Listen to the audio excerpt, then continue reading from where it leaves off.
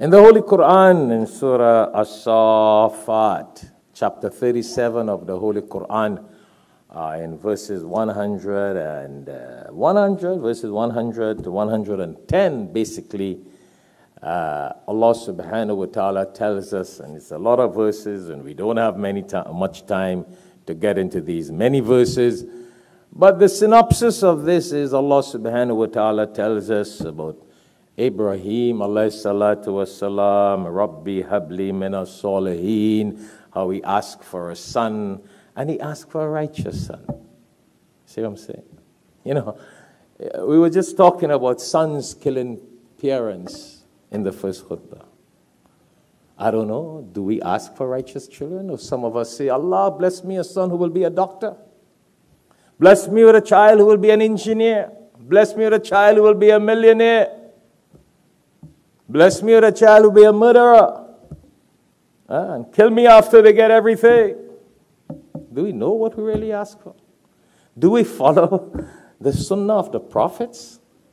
What did they ask for?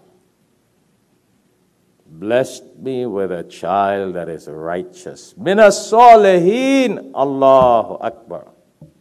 That's a lesson in itself. You know, I want to go into a brief, brief, brief, brief summary of these verses, but just the first verse, Rabbi habli mina How many of us ponder over that? How many of us ponder? You know, I must say, ah, Alhamdulillah, Allahu Akbar.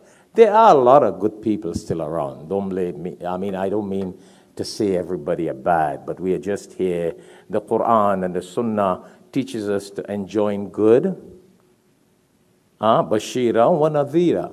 Give people glide tidings and warnings. Warnings. So sometimes we have to warn. But there are a lot of good people around. Yeah, there are a lot of good people who make dua for their children to be imams and to be someone who will memorize the Quran when they're babies. Don't, don't wait for when they become a devil. You see what happens a lot of times when our children get off the track and they're doing all the worst things in the world. We're like, I wish you would have been an imam, boy. I wish you would have been a sheikh or go to masjid.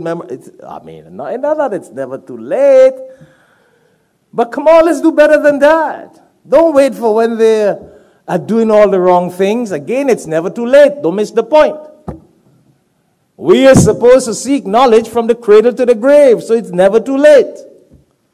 But why wait for so late? Yeah?